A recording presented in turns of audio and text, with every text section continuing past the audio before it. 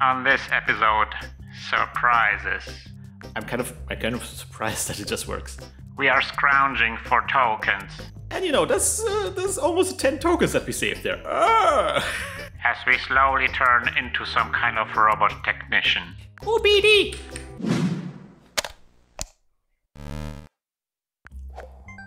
Hmm. Hi everybody, welcome to this beautiful tutorial. This is Christian and uh, this is the Lazy Devs Academy, the advanced shmup tutorial. We are making a cow shmup. Temporary name only.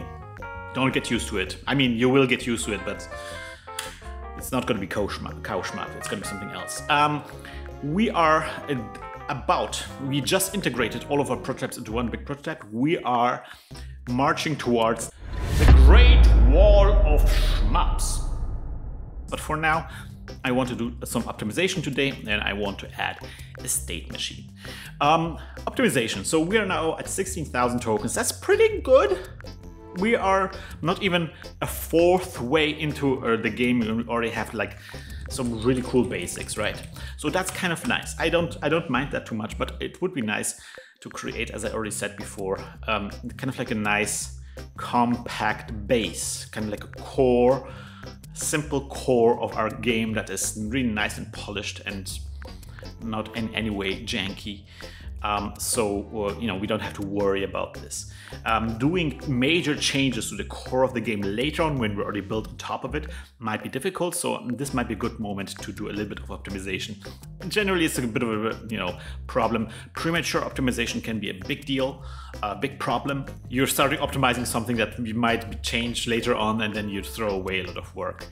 So generally, we warn people against doing uh, premature optimization. But in this case, you know, we spent with these functions uh, uh, already quite some time, so it might be worthwhile doing a little bit of optimization now.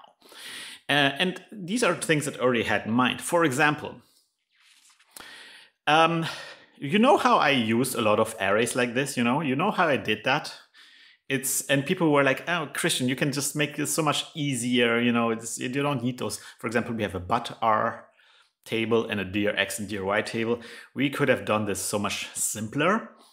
Um, I didn't do that um, because there is a very, very major trick in Pico 8 that you can pull off, which is really nice, which is the split trick. And I, I'm not sure if I, I don't think I did that in the basic shmup tutorial.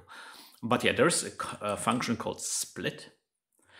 And that function takes a string let's say 1, comma 2, comma 3, comma 4. If you put a uh, string into the split function, what it returns is an array with 1, 2, 3, 4. It returns an array like this. Now the thing is this array is 5 tokens, but the split function is only 3 tokens. So this you just save to tokens. It's because this is equivalent to this, and this is just so much more tokens. And what's more, if you add another token, like if you add another entry in this array, now it's six tokens. Now it's no longer five tokens. If you add here an element to this array, it's still three tokens. It doesn't matter how many entries in this array we put. It's always going to be just three tokens. That's an incredible uh, token saving if we can put everything in those arrays, right? Uh, that's why I favored solutions that you know that that uh, that were creating like these kind of like very simple arrays because that's something that you can really really easy condense down into tokens. I'm already worried about the tokens. but yeah, that's something I use a lot in my games, and you should too. Um, there's maybe something that might be confusing, which is um, you can also put a text in here, for example, like hello, um, hello, comma two, and so forth. Um, that will return hello uh, it automatically detects kind of like the i think it does that. It automatically detects uh, the entries in the string that are numbers and converts them automatically into numbers. That's something that lua generally in pico 8 does. It when you have a string that contains a number that will that can easily be converted into a number almost seamlessly. You don't even notice it which can be sometimes very confusing. Uh, but yeah you can con condense any kind of uh, array of any kind of value when it's when it, whatever it's a string or a number you can convert that uh, using the split function into just like a big string and uh, you know compress the tokens that way. Okay, so let's apply this trick. just to see what kind of savings, token savings we're going to get using this. Uh, let me remove this. Um, right, so we're now on 1,639 tokens. And then we're going to go split. And by the way, there's more things we can do with the split. For example, right now, uh, the, the commas are separating the different entries in the array. Um, you can change that to something else. And also later on, we're going to write a, a, more advanced split function, but let's just, let's just not get ahead of ourselves, okay? Let's just con con concentrate on making this work.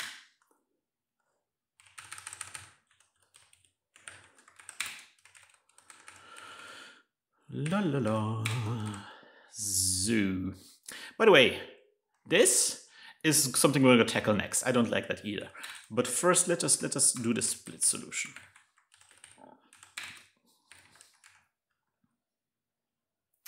Right. Um, also the map segs here. Oh yeah, that's that's a good target for the split function. Oh yeah, look at this.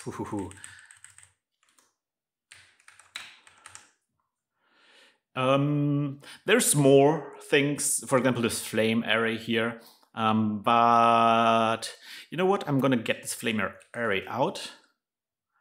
And I'm gonna because we have a different ship array here, right? So let's let us not make it local. Let's make it global. Um, we're gonna ha probably have to do like a uh, uh, centralized animation solution. Let's let's write this in the to do already centralized animation system. Because we're going to have a lot of we probably have a lot of um, um, arrays like this which is just like a sequence of, of sprites. And we want to maybe not always create a new variable for that. Every time maybe we're just going to have a, like a big array of animations and we're going to get animations from that array or something. Um, but yeah it's something that we're going to think about later. Um what else what else? There's a lot of small arrays every now and then that we that pop up, uh, but you don't have to do it every time. Like for example, here, right? There's a four entry array, and it's like, I mean, it's five tokens. It could be less, right? Um, yeah, let's let's go. Let's circle back to that later on. I we don't have to do it every time. We don't have to do it every time. Um, for now, the big ones, the global variables, are something that are easy targets for this. Okay, so now we are at, first let's see if this works. It doesn't. Ah, I is, uh, okay. I was like, oh, what's, what's happening? Okay. It seems to be working. Explosions are working. Done. So we just saved a 100 tokens, almost a 100 tokens, because we're now, now at 1551. This is just like 100 tokens for free. Um, yeah, that's so that's a good start, good start indeed. Let us let us keep the history of our savings here. Um, right, let us think about more things. Let us think about more things. As I said, I don't like there's there's some things I don't like about the system here. Um, I don't like this thing that we have to add a zeroth entry to our but r. I don't like that. Uh, so I want to make the system so it's just like, I, I don't need this line because I hate this line. But also, and this is the part where you have to remember what we did here. See how we have this here? When we're moving the ship, that uh, we only move the ship if the direction is greater than zero, because if it's zero, then the ship is not moving. And in this case, uh, when the ship's not moving, you don't want to add anything to this. Wouldn't it be great if we could just get rid of that if statement? I mean, oh, sure, it's just five, it's five tokens, but it also simplifies the code a little bit, right? So uh, because essentially what we're doing, right? Essentially what we're doing, we're just adding something to the px and py value, and we could just as well, we could just as well add zero, and that would be it, right? We just add zero. Um, so in this case, in our dir x and dir y, the first entry will be just zero. that will simplify things, right? So like just the first entry is just like not moving at all, zero, and then we can get rid of the this, that if statement. We're just gonna get the first entry from that that dir x and dir y array, and that's gonna be zero, and we're gonna add zero to this thing, and then the, the ship's not gonna be moving. That seems that seems like a cool solution. The problem now is that the default direction is gonna be one. So that's that's that's already kind of like a weird thing. So now one means not moving. Um, so let's see, where is this? So I, I guess that's kind of like uh, where do we where do we set dir? Oh, okay. So uh, we just get it from the from the butt.r.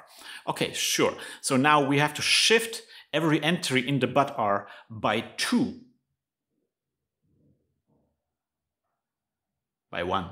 Yeah, by one. But in addition, I also want to change the butt.r in a different way. I also want to add kind of like the zeroth entry as the entry number one.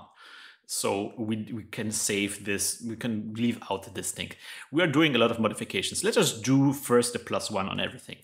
So um, this is going to be two, three, one, four, six, seven, four, five, nine, eight, five, one, two, three, one. Okay, it's moving fine. It's nothing changed. It's fine. It's just it's just working. It's just working. I'm kind of I'm kind of surprised that it just works. Oh yeah, uh, we can just now leave this off can leave off this if statement and it just works.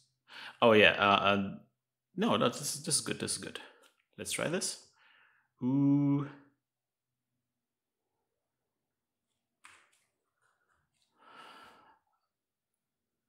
S apparently, dir x and dir y, the, entry, it didn't work. Oh, yeah, yeah, because we want to set this, the default value, the zero value, we want to set that to one. Because again, not moving at all is supposed to be one. Okay, so now it works. See, now this works. And now another thing I want to do is this thing. I want this thing to be removed. I want the that the entry that was previously number zero that we spliced in with this line. I want to shift everything by one so um, that entry becomes entry number one. So I can just put it here directly into the array definition because again, arrays in Lua start at one, not at zero. So we had to like have this workaround here. So we add a one at the beginning, one comma. We can leave out this line. And now all we need to do here, down here, um, cursex, this is movement. There we go. See, um, we're gonna do dir equals the uh, whatever we have. To, yeah, yeah, here, here. btn and this plus one. Uh, what if we do it? I think this might be a order of operations problem. Yeah, now it works. Isn't it nice? Isn't it nice? Just uh, saved a bunch of tokens here and there, made everything just a little bit more compact and simpler, you know, just like working with the arrays as they are without having to modify them, removing some if statements. And you know, that's, uh, that's almost 10 tokens that we saved there. Ah! I know, not big token savings, but I, you know, give me some victories. Give me some victories here. Um, yeah, let's let's mark this with a with a star. That's the, our animation arrays. We're gonna we're gonna fix them later on. Uh, by the way, also another thing I want to do is I want to uh, remove this clear screen. We're not gonna clear the screen anymore. That's something that we did as debug to see gaps between the um, between the uh, uh like if you had a segment that created a gap, we want to see that there's a gap. Um, but now we're always going to draw the map to the screen and every single pixel will be covered by some segment of the map. So we mm, can get away without a clear screen. And it's like differences. So th th this was 25. It's 2%. It's 2% of the CPU we're going to save by just removing the clear screen. So that's also important. Okay, so now I want to get into a state machines. And we already did that in the basic shmup tutorial, so you already know what it is. Basically, a state machine is kind of like this idea that your program is doing different things depending on a variable. Um, or, yeah, do you have some way of controlling, radically controlling, transforming what your program does? Which totally makes sense for like menus, or if your game goes into like, I know, game over and there's like a different different thing that happens, not just the raw gameplay. It's just a general game flow uh, is something that's controlled by uh, some kind of state machine, and we want to start implementing this. Um, so we don't gonna have just like one big draw function. Oh, the draw function will change depending on the state that the game is in. I think a good start for this always is to create a start game function. That's kind of is going to be like a function that will just start the game, reset the game. So here we're going to have to think about all the things that need to be reset every time we start the game. Uh, I'm going to take these things out. Uh, definitely scroll is going to be something that needs to be reset. Uh, and the thing, the reason why I'm doing this also is that we don't want to duplicate this, right? We don't want to have duplicates here. We don't have to define, if we defined the scroll value, for example, here, we don't want to define it in init and then also in the start game function because the scroll value to some extent is not important for the start menu, I think. So let's just like, you know, let's just like define the variables only once when we actually need them, uh, need to define them. Last dir is definitely something we're gonna have to do in the start game function. Boss, definitely something we want to do in a start game function. And the map segs, see, the map segs is something that we want to do in init because we want to define this only once. But the map seg i, I'm gonna put it to the scrolling stuff. Um, the cur segs we definitely want to uh, put in here. And I'm grouping them a little by, um, you know, semantically, you know, by things that belong together. Uh, particles is one of our big arrays. Right. And then also I want to put all this stuff, I want to put all this stuff into the init function. Feels a bit uh, cleaner if it's in if it's in init. Uh, I want to make sure that this is here. Then the ship sprite is something that we want to reset um, in these are like ship related stuff. Um, then the shots is our big, uh, let's put everything together. Let's put all of these together into our big arrays, shots, particles, shot weight, muzzle flash. Uh, right, so this is our start game. Everything is a little bit clearer here. Um, and then here at the end of the init function, because right now if we run this, nothing happens. or we get an error because we haven't set up the game and the game already starts animating and then there's all sorts of very important things missing. Uh, so we're going to just do a start game at the end of the init. We're going to uh, run the start game function and this, this starts the game. That's nice. Uh, now something we can uh, do just to test things out. Um, we're going to put it on a button and we're going to see if this resets properly.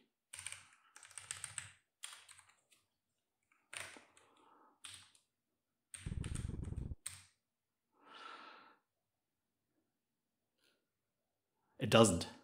Oh, it doesn't because we're doing it in the middle of an update function. so we set the game in the middle of the update function and I think I think it it creates. Can we if we if we do a return, does that work? Yeah, that now it works. So we quit the update function when we reset the game. So we're gonna get a fresh start on the update function. Yeah. Yeah, it's just resets. Good. Okay. Uh, we don't need to restart the game on the button. Don't I, bring me back the explosions. Good. So we have a start game now. Let us think about how we're going to deal with the states.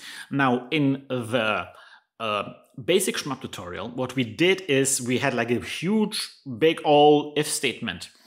And that's great, but now it's advanced shmup tutorial, and I think we can use a different technique. There's I've seen a lot of cool solutions for this. For example, something you can do, you can overwrite the update 60 function. You can just set it to a different function, right? So let's, just say something like function uh, my update update. It's it's it's a bit weird, but let's just let, let me just show you. CLS. We're gonna clear the screen with a green color, so it's like really clear. Uh, 11, right? We're gonna go CLS 11. This is my update. My update, right? We run this, it's not being called, right? Now we can do something like, we can do something like, here in the start, start get function, we're gonna do something like update 60 equals my update. We are dealing with function names, but we treat them as variables. We just assign to the name update 60, which is a function. We assign a different name, which is my update, which is my, another function. Because as I said, functions are kind of the same as variables, or you can save a function in a variable. A variable, a function name is actually the same thing as a variable name that contains a reference to a function instead of a value. Uh, so yeah, now we replaced our update 60 function with our green screen. I'm not sure why it draws the ship, to be perfectly honest. Oh, because it's the update function and it's not the draw function that we um, replace. But yeah, so you can see we can replace functions and you can do a state machine like this, but I like to keep the original, like a, a core draw and a core update functions around um, because there's some sometimes things I always want to do, no matter which mode the game is in, and then that gives me a place to put the thing that always happens, regardless of the mode that the game is in. So um, what I like to do is to create two functions, two kind of like function names that are called in draw and update, and then switch in different functions into those names. So um, let's let me create a function. Let's do this right here in in in the start game. Yeah, sure, start game is good.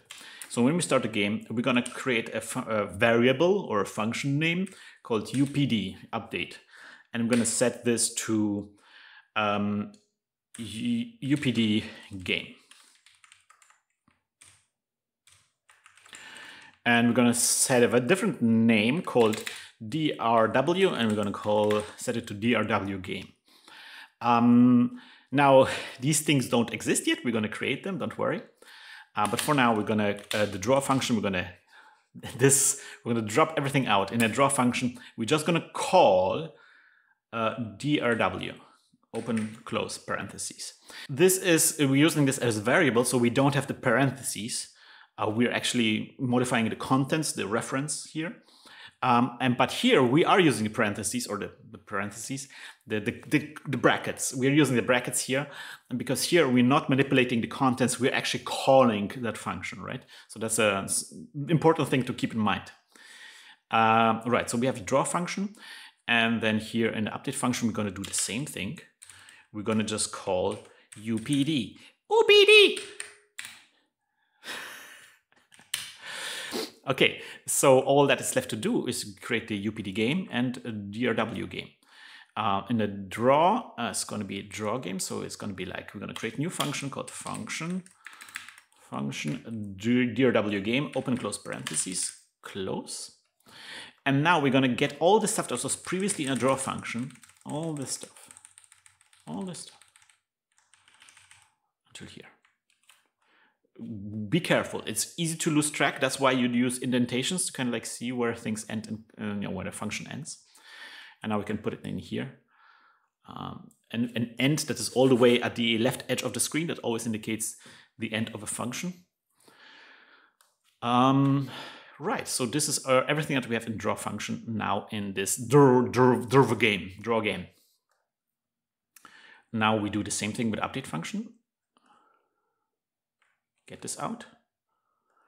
Go here in update tab and we're going to create function uh, UPD game. Uh, actually, yeah, that's good. Making sure that there's just one end at the end. And yeah, that's it. So now there's like a two-step process here. When we draw the game, uh, there is a whole function that does nothing but call another function.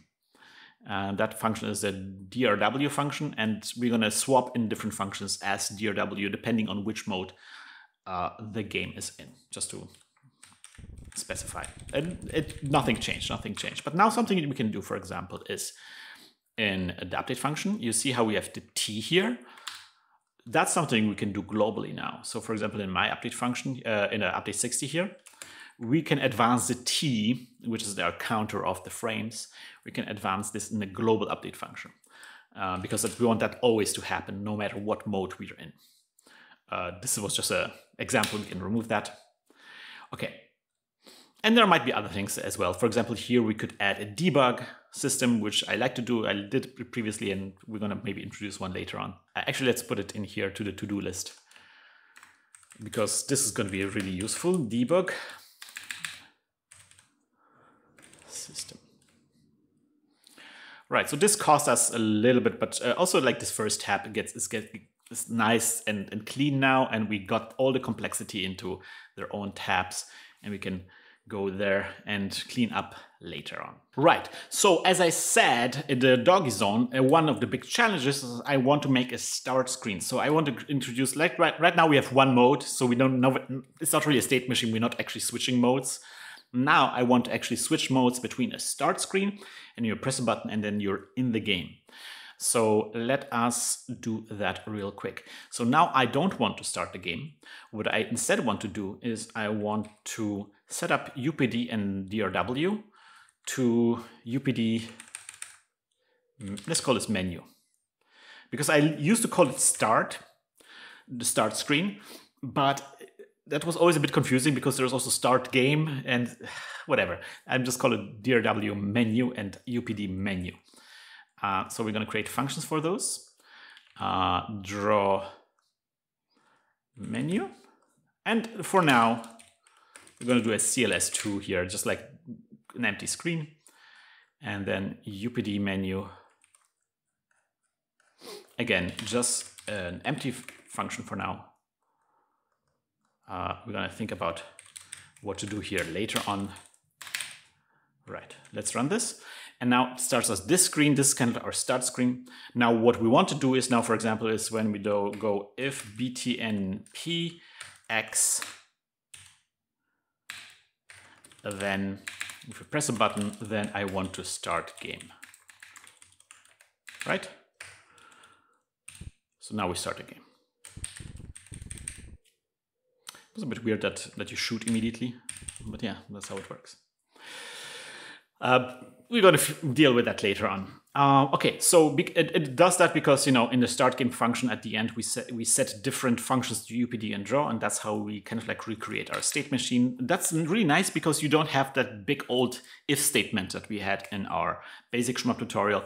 Now everything is solved with the UPD and your W. It's kind of like a bit weird because we don't really have a variable that says which state we're in. The state is just controlled by those two functions. So now let us make maybe the, the star screen a little bit more beautiful. Huh? How about that? Instead of a CLS, we could do a map. Let's do a map. Let's just draw the map to the screen.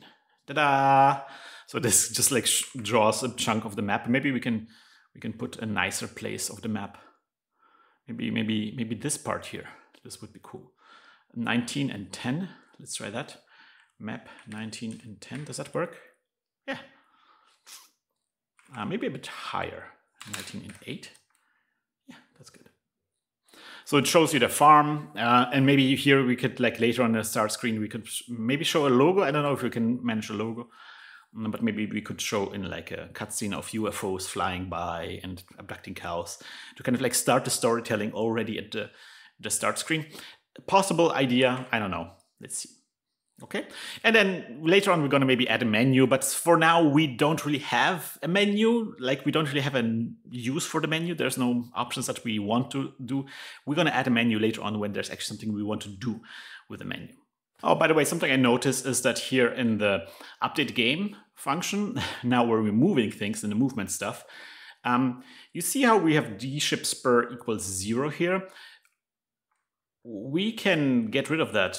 We can just uh, define the variable here at the very beginning where we set it to um, you know my sign of drx.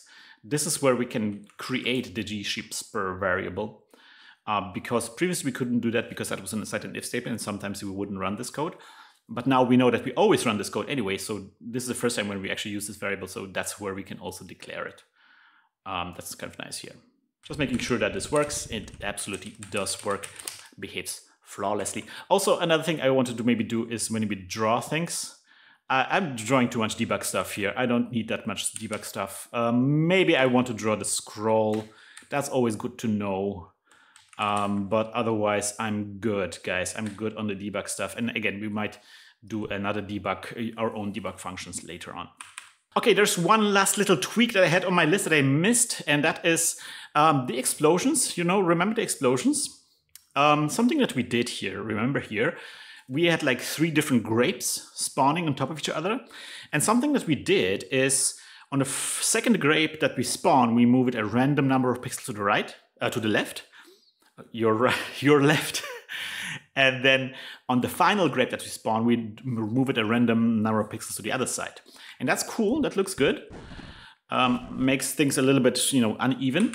Um, but it's always kind of predictable, right? When we run this, you always see that it always makes like the same cur curve. The curve is maybe less or more pronounced, but you know, there's always like the explosion that goes like this. And that's that's okay.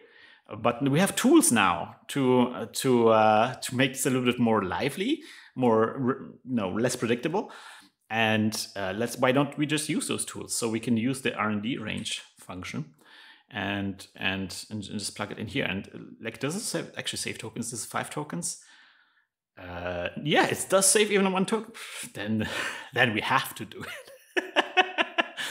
um, right now, well, but now we're not going to save any tokens because we want to do an ex um, minus five and ex plus five. Oops. So actually, we're not going to save tokens, but um, yeah, we're just going to just going to look a little bit, a little bit less predictable.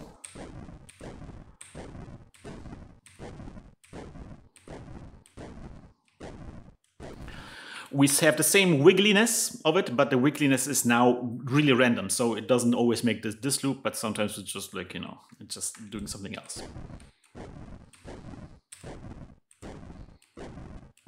yeah, just making it a little bit more, more um, less predictable and utilizing more of our functions. Because the, here's the thing, and that's also something I'm going to have to do at some point. We're going to have to at some point go through the tools function and look at all of the places where we actually utilize the tools. Because sometimes you create a, like universal function that you think you're going to use a lot, but then you end up using it only one place. And in this case, you don't need the function. You just type in the code directly at that place that saves you again a bunch of tokens. Right. So let us just see if if we are if there's any little things that we can do. Uh, let's just yeah. Why, why don't we just do the debug system right now, and that that will sort sort that thing. Um, so let's see. I have a bit of a code. I'm going to copy this over. We're going to put this into the draw function, the actual draw function, not in the DRW, but we always want to do this. Um, and I have to explain a little bit. I'm sorry. Um, so um, we have a function that we haven't talked about, cursor for four, that sets the cursor of the of the text where you're going to print the next text or draw the next thing.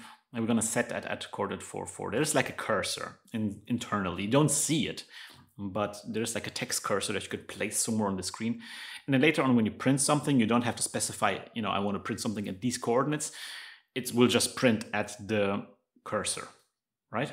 That's how you can have like multiple print statements under each other.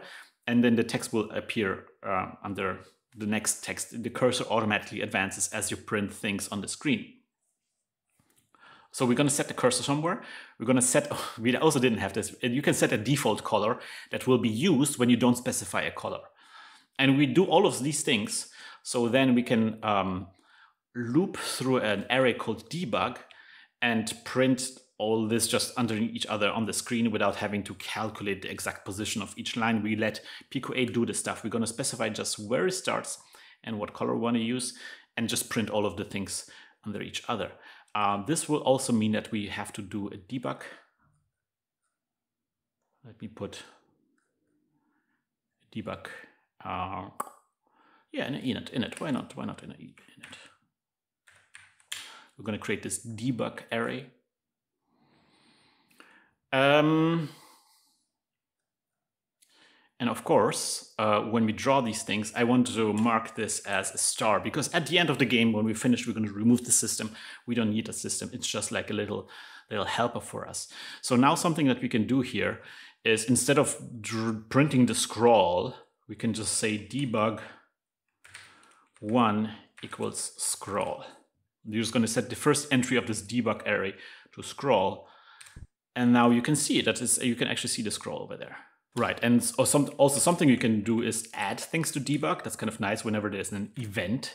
You can add something to e debug. there's a frame. Actually, no, let's actually add it to our update function when we shoot. Shoot. So we can see if something was triggered, right? So now can see you can see a new line is being added every time I shoot. So this is uh, kind of like a really nice and flexible system to do debugging stuff. I always use it in most of my games. What is our token count? We are at oh, 15,081. I'm good. I'm good with that. 50,000 tokens is fine. It's not going to be a problem at all. Let us move on to the doggie zone. That's right, the doggie zone. All right, so the doggie zone for this time around I, you know, at this point, the doggie zone is always going to be the thing that's coming up in the next episode. And some of you already talked about this. It's time to tackle this problem, the problem of um, of sprite space. You see how how much we sprite space we use we just for the for the ship. Just this is just the player's ship, and that's kind of like one almost one fourth of our sprite space. That's crazy. And I want to compress this because there's a lot of black space in here, right? And also, a lot of people pointed out this ship is symmetrical. Not quite, though. Not quite. It is almost symmetrical. Almost symmetrical. You see, like the reflection in the in the in the cockpit, that is not symmetrical. But otherwise, a lot of about the ship is symmetrical. And also, when you're banking left, that kind of looks very similar to when you're banking right. Again, not quite. It's not quite the same sprite, just mirrored. Again, the reflection is different, but it's close. So we can get rid of half of the sprites that we dedicated to just the ship sprite uh, by just like drawing half of it on the sprite sheet and just drawing a duplicate on the other side when we draw the ship. So that's nice. Uh, we have the similar thing with the, with the muzzle flash, which is also gigantic. This is just like, this is really just mirrored. So we can just draw half of the muzzle flash. Same thing with the bullets here. Those bullets could be just like half of that. And then we could save a whole bunch of sprite space. There's also some debris. This, we don't need this shot anymore. We can remove this. So we want to create a function, a system, I think would be even better, that we can use to draw sprites in a mirrored way to kind of like only draw, only have half of the sprite in our sprite sheet. Uh, but uh, you know the system will automatically draw the second half as well. But, and this is kind of like the challenge, this is the simple part. So if you can make a system that does that, that would be great. But the challenge is also to make the system capable of dealing with exceptions, like you know the cockpit reflection. If it would, it would be nice if the system automatically knew somehow that there is uh, that it has to do something additional here to fix the reflection. And also, and that's the last challenge, the system needs to be easy to use for us. See, when we're drawing things, it's kind of nice how when we, for example, drawing the sh this ship, we just drawing a number. It's this SPR function and just a number. And that number just draws the ship sprite. So uh, the system needs to be also as easy to use as the SPR function where just one number is associated with one sprite. I have a system in mind, I did some tweaking and tuning, and I will show you on the next episode. But before I do, I want you to have a go at this problem. How do we create a system that draws mirrored sprites that is as easy to use as the SPR function? Keep also in mind that we might want to have bigger sprites, smaller sprites. We want to have a system that is flexible that can deal with all sorts of sizes of sprites. Okay? Right, right, right. This is gonna be the end of this episode, and as always at the end of the episode, I say a big, big thank you to you, all the beautiful people out there who are supporting this show on ko-fi.com. This keeps the show afloat, makes this whole thing possible. Thank you so much for your support. Also wanted to read out some comments. Um, this is from Maxine Red on episode 10. Uh, they said, What I've learned, a contrast frame is more of what you see in a city explosion, I think Akira. It's a dark frame that is followed by an explosion frame. So it gives additional contrast to the explosion frame and makes it more pronounced. Yes, um, we haven't dove into the topic of contrast frames, but something that you can have in animation is you want to have a bright explosion but your screen is already bright. Let's say you want to have a bright explosion in broad daylight. You already have a blue bright sky, and there you want to, uh, an explosion to appear that flashes. Well, the difference between the bright blue sky and the pure white of the explosion is not going to be that great. Right? It's not going to feel as if it's a flash because it's kind of all two bright colors next to each other. It's not a huge contrast there. So what an explosion quite often does is, like in animation, what you quite often do is you insert uh, one or two frames of pure black and then white on top. So then it looks like it flashes because you go from the bright blue sky to complete black to complete white again. So you get like flickering, a short flicker that feels more like a flash. So that is a contrast frame and explosions in uh, games do that often as well when they add uh, a little bit of a black color to the initial flash of the sprite. So again, it feels more like there's some contrast happening, there's some flickering happening. I don't think that thing that we saw in Akira, I'm gonna maybe show a frame here, that was quite what you call an, a contrast frame. I'm not sure if Maxine Red means exactly this, but there is a dark dome at the beginning of the Akira explosion. Um, it, it looks like a contrast. That's something that you would do for a contrast frame, but in this case, it's, it's, it's there for quite a long time, for like seconds, and that's not exactly what a contrast frame is. Contrast frame, you, you, would have something that is like really brief for one or two frames, so it really flashes. Uh, we might maybe even add a contrast frame later on to the explosion. We can absolutely pull this off with our system. Um, might be worth trying out. And yes, at the end, a short reminder that you can support this show at ko-fi.com slash lazydevs and get access to new episodes earlier than they appear on YouTube. Right, right, right. So we're on the precipice of the next great system that will allow us to squeeze the game into the limited sprite sheet space of Pico 8. See you next time around, guys. Bye bye.